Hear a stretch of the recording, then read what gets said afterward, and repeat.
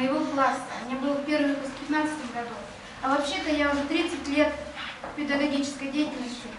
И э, самые первые выпускники у меня были в родной Едкурской средней школе в Челябинской области.